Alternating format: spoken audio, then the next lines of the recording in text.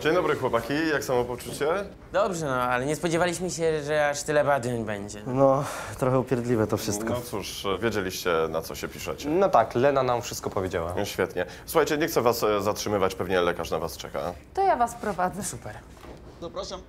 Dzień dobry. Dzień dobry. Proszę bardzo, chłopaki wchodźcie. Dzień dobry. Ej, Lena, mógłbym zamienić z tobą kilka słów? Tak, oczywiście, za chwilkę przyjdę. Słucham.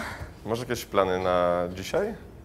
Eee, na dzisiaj. Jutro mam kolokwium z anatomii, więc na pewno będę się uczyć. Na pewno już e, wszystko potrafisz. A dzisiaj wieczorem jest e, firmowy bankiet. Może chciałabyś mi towarzyszyć? Ojej, bardzo chętnie, no ale naprawdę muszę się uczyć.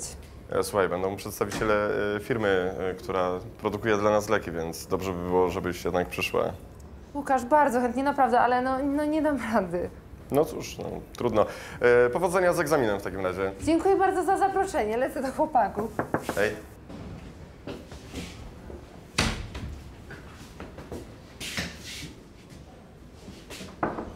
Tak? Dzień dobry. O, y, dzień dobry, chłopak Leny, prawda? Tak, Dzień dobry. dzień dobry. E, jeżeli pan jej szuka, to y, poszła z pańskimi y, kolegami. Ja przyszedłem z panem porozmawiać. Chciał pan wziąć y, udział w y, naszym projekcie? Nie, nie chodzi o badania, chodzi o Lenę.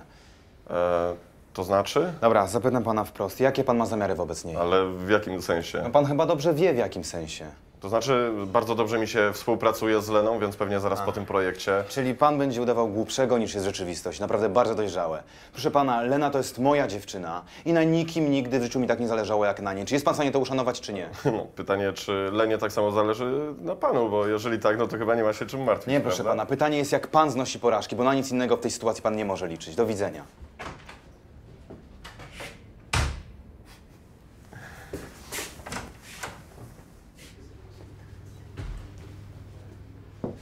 Panie Rafał, no zapraszam.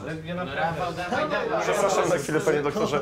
E, Lena, czy mógłbym cię prosić? E, tak, już, oczywiście. E, zostawiam tutaj. Za chwilkę wrócę. Tak? Bój się. E, wiesz, że był przed chwilą u mnie twój chłopak? Filip, jak to? E, po to, żeby przypomnieć mi, że jesteś jego dziewczyną. O Jezu, przepraszam. Nie no, nie masz za co przepraszać. Tylko skoro on jest taki zazdrosny, to może jednak ma powody o to, co? E, Nie i bardzo proszę, żebyś tak nie żartował, tylko dlatego może mój chłopak zachował się jak idiota. E, Przepraszam bardzo, ja wracam do Okej. domu.